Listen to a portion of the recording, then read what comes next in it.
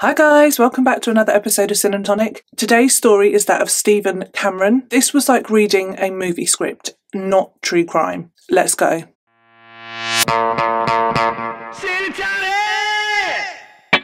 How are we all? Ooh, deep breaths. I am filming today in the morning, bizarrely. It's um, the Easter holidays here, so I couldn't. I feel like I've got morning voice. Mm. Anyhow, needs must because it's the Easter holidays. I've got the kids off. It's busy, and otherwise there would be no video. So I'm, you know, aware that it, it's the morning, which is just weird. I'm also fresh out the shower, so excuse my hair. I'm just letting it dry on that trail. It's so long now. Needs a trim. Needs a trim. Today we're off to Swanley in Kent. At the time of our story, Stephen Cameron was 21 years old. He was an electrician. He was a happy chappy. And people around him that knew him, that loved him, they had nothing but lovely things to say about Stephen. He was happy go lucky. He was fun. He was very loving and very tactile. He was very close with his family. He lived with his mum and dad and his fiance. So they got engaged in 90 I didn't tell you when what year we're in, did I? Silly me. The time of our case is 1996. Stephen got engaged to Danielle in 1995 at Christmas time, December. Very romantic. And life was sort of shaping itself up a bit here because they were they got engaged at Christmas and then they were going to move out, so move out of his mum and dad's and move in with Stephen's best friend. So they were all going to live together. Things were moving onwards and upwards for Stephen. That was until Sunday, the 19th of May in 1996. Stephen and Danielle woke up that morning like any other morning and they decided on a plan for their day. Stephen had been drinking the night before, so he wanted Danielle to drive because they had planned to go into London to buy some food, some shopping, and go and meet some friends. So, because he was probably questionable, probably over the limit still, he asked Danielle if she would drive. This was knowing now what it's like because I, I, when did I pass? A year and a half ago now. Whoa, time flies. Anyway, I didn't learn to drive until I was 34. Was it? I'm 36. Yeah, about 34. So I think when you're a bit older, you have more fear because when when going to London would have meant going on a motorway, and it would have meant driving a van because they had a van. What? Now Danielle was 17, so she was very very young and new to driving. However, I don't think you have that same fear. Like when I learned to drive at 34, like I've had kids, I'm so scared of the world. Like things happen to you in your life and you get to like in your 30s and you're just like, well, everything is scary. Everything is scary, terrifying. All sorts of things can happen. No, thank you. Driving a metal thing, mm-mm, scary. I was scared. I think that's normal when you get to that age to be cautious when you're driving when you're 17, probably not so much. You're fearless, aren't you? But I was fearless at 17, and you're just out there. Mm-mm-mm, nothing can hurt you. You know, great in some ways because that's when you take your chances in life. Why am I talking about this? Anyway, the psychology of 17 year olds and driving with Soph. Anyhow, so they woke up and he said, You know, fancy driving the van, fancy going on a motorway. And she was like, mm, Okay. She was a bit nervous, about it, but she did do it. However, due to her inexperience, I believe, at some point when they were on their journey, Danielle cut somebody up. Now, this does, again, having learned, this does happen when you are new to driving because you don't know, you, you judge things incorrectly. And, and that is what happened. And she cut somebody up, carried along on the journey. And shortly after this, they came to some traffic lights. And this Land Rover Discovery pulled up, screeched past, and stopped in front of her car. So she couldn't go anywhere.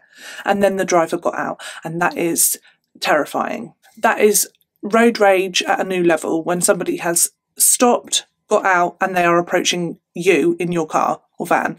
My heart would be like 100 beats a minute. The driver was furious. And this guy was screaming, shouting, very angry as he approached their van. this ended up becoming a physical fight between this man and Stephen because Stephen had got out of the van and gone to talk to this very angry man. Danielle was witness to the whole event and she said that the the man who was older than Stephen he was the person that that that threw that threw the first punch say that fast and Stephen then had to defend himself and then they got into a physical fist fight. But Stephen was a lot younger than this man.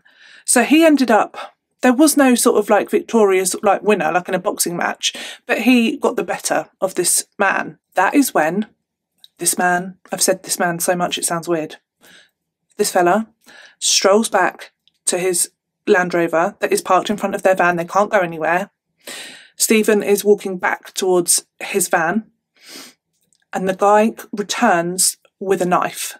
Poor Danielle, because she could just see all of this un- unfolding, but it was too late to really have any effect and warn Stephen. The man then stabbed Stephen twice, once in the heart and once in the liver. The guy then gets back into his Land Rover and drives off. He's out of there.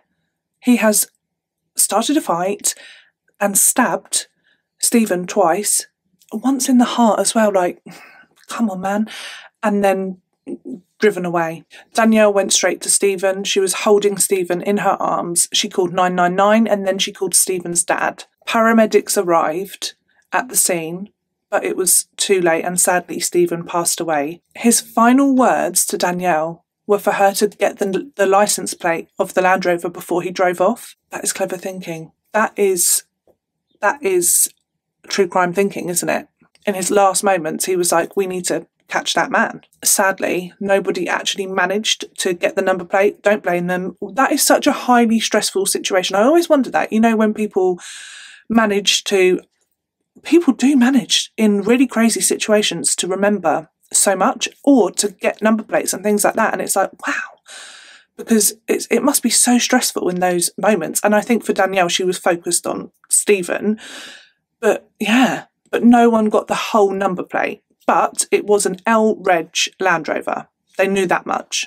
No forensic evidence, and despite many witnesses, because people were driving past the other way, it was busy, people were driving past, so there were lots of people that saw the altercation and saw different stages of the fight and the, the whole thing. Sadly, because of just a lack of evidence, there was no CCTV, oh, ah, just and there was no like dash cams and stuff. We're in 1996. The case just started to go cold. Little did everybody know that Stephen's killer was actually a notorious career criminal. Danielle had given a description of the man and the scene, and she'd been really helpful and she had given, you know, as much as she could to the officers. But the break would come when intelligence came into the police that a criminal in the area was missing. Mm. So I think when there's like a murder inquiry or something that's happened like this, police informants and stuff, they, they talk to people about the, you know, known cr- criminals, criminals, criminals in the area. And part of that brought up that this guy was missing. He had disappeared 24 hours after Stephen had been killed. Ooh, uh. This guy was called Kenny Noye, and he has quite the story. His house was searched, everything was searched, his car was missing, and guess what he drove? A Land Rover Discovery. Come on. And also, he was nowhere to be seen. He had just literally disappeared off the face of the planet, and that was unusual for him. He was not one to shy away from things or to just up and go. No, but he was gone. He had vanished. Kenny Noye has quite the story. Born in May 1947, Kenny Noye had been an accomplice in money laundering from a very like, I think it was the biggest robbery, largest robbery of gold bullion in British history. It was called the Brink's-Mat robbery. It happened on the 26th of November in 1983. Six robbers broke into the Brink's-Mat unit. Sorry, this is all hard to say. This was on a trading estate near Heathrow Airport in the UK. One of the security guards was, you know, being naughty. So it was like an inside job. He got them in when they were inside, they poured petrol over the people that were there, working there, and they threatened to set them on fire if they didn't give them the codes to the safe and things like that, like the vault. Crazy, isn't it? This is literally. In fact, they have made a film about this. Oh, what's it called? The Gold something. I'll I'll share it. The robbers thought they were going to steal about a million pounds worth of money. However, when they opened the vault, they found three tons of gold bullion. What's this? It was just being stored at that warehouse overnight before it got shipped off somewhere to like Hong Kong or something. So it was just there by chance. Three tons. And they ended up stealing the equivalent today of 26 million pounds. What? I know that this is criminal and naughty, but that is the equivalent of finding, well, no, it's not. I can't think. You know, like when people find a fiver in their pocket and you're like, oh, Oh, sweet. This was like that on steroids. I found 20 quid the other day down that had fallen down the side. I was like, sweet, sweet. I didn't go much further into Noye's past. However, Noye was not one of the robbers. He was recruited by one of the people involved to manhandle and sort of, you know, he was fraud. So he he was an expert in this. So he'd obviously he was in that circle, criminal circle, and he melted down the gold and things like that and mixed it with other stuff and just you know I don't think a lot of this gold was ever found. Can you believe? So Noye got the gold. He he mixed it with another metal to disguise the, um, you know, the the the heritage of the gold basically, and then it was sold on. Whoa, whoa things came to light and the police were made aware that Noye was part of this operation. They found out, you know, through intelligence and the investigation. So he was placed under surveillance and an undercover police officer went to Noye's house, his property. He was on his grounds and Noye found him and he stabbed him 10 times. I believe it was 10 times. And he killed this undercover police officer. Now, this all went to trial. He was arrested. This was in 1985.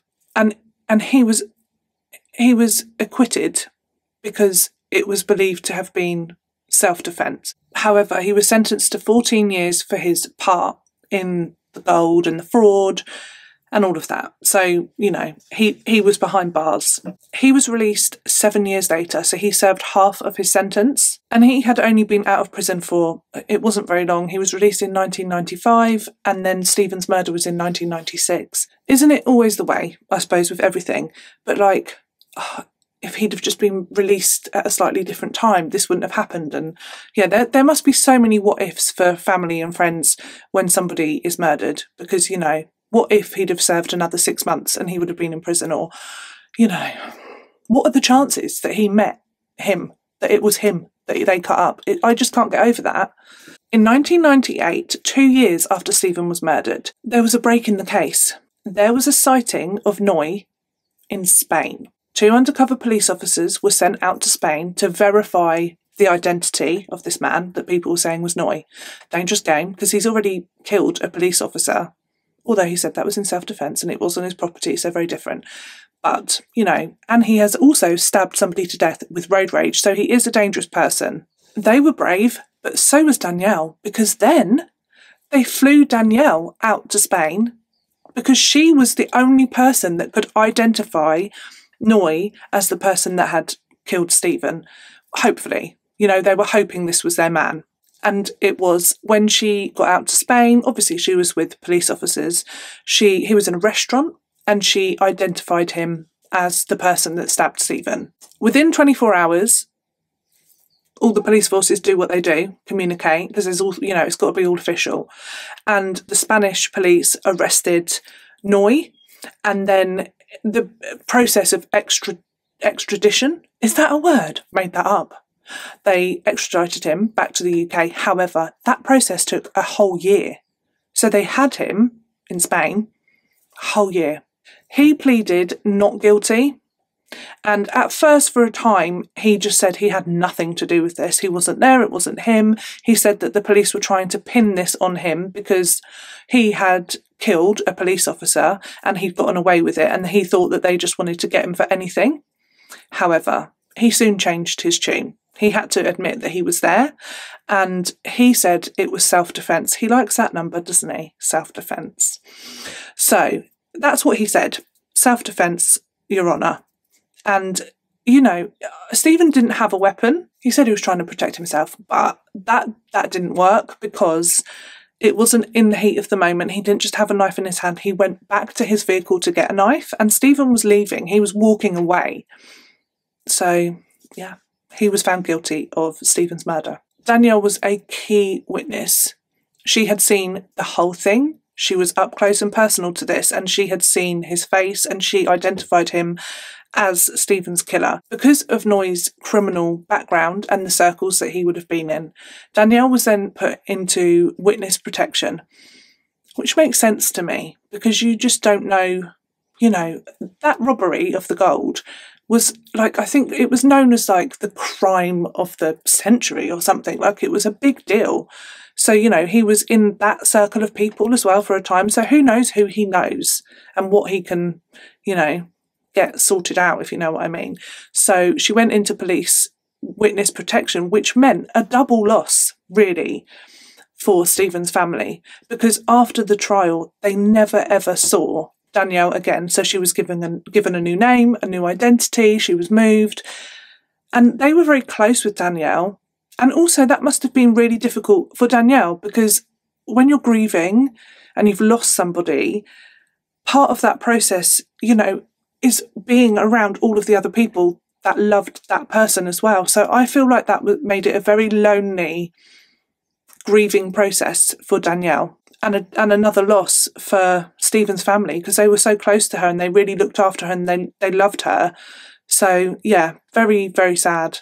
Noye was sentenced to life in prison with a minimum of 16 years. Stephen's mum was quite disappointed in that. She was happy that there was justice and they'd caught the person that had killed her son, but she wanted life to be life. And she found it difficult that it was, you know, 16 years.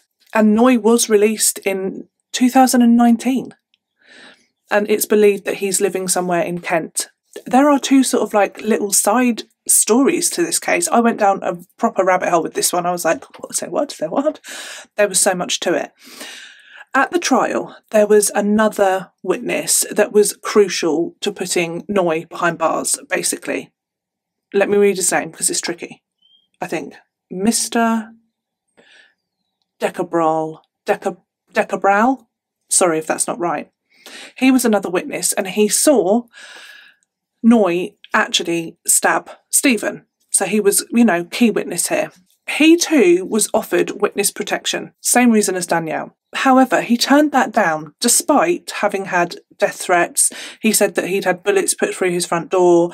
So, yeah, he didn't take the witness protection. I mean, you've got to go away and start a completely new life. And that's quite a big deal, isn't it? So I think that's, it's not a very, it's, that's tricky. However, he turned it down. A couple of months after the trial, he was sat in a car park in the passenger seat of his son's car and he was shot in the head by a hitman. What? What did I say? This was like reading a movie script. what? But it is not that straightforward because you're like, oh yeah, I was the same. Oh, that's something to do with, you know, Noye being put in prison. Surely. Hmm. Questionable. Lots of people that knew of Mr. Decabrow. Sorry, I don't know how to say it. It's annoying. I hate it when I don't know. They would say that he was he was also mixed up in criminal circles. People people described him as a shady character. Even Noye at the his trial, he contested that that he was a witness because he said, you know, he's not trustworthy, etc. And yeah, but it would seem that Mr. Freck Mr. D was embroiled with some other questionable characters. So there, and and it was thought that there were a number of different people that would have wanted to see him dead, not just the fact that he put Noye in prison. So that was not black and white, not at all. That's very grey. Also, at the time, Noye was in uh, what's that thing? oh my gosh. You know like almost like solitary confinement and stuff. So it was like near on impossible for him to have ordered a hit on someone. I can't believe i said that. It's it, it's such a bizarre case to me. It's so bizarre because in my head gangsters things like that you know i think of um like you know American movies, like in America, like gangsters and stuff and gangs, but it does happen here. Like these things, like, you know, it, it is real, it's true. I'm going to give you to the count of ten to get you ugly, yellow, good nothing piece of my property before I pump your guts full of lead. you catch my drift. But no, here we are in a real life UK gangster movie. And then, because I was thinking, you know, Noye has got to have, excuse me, this is what happens when you film in the day. Can you hear that? Hmm. I'll be patient. What are you doing with your home improvements, man?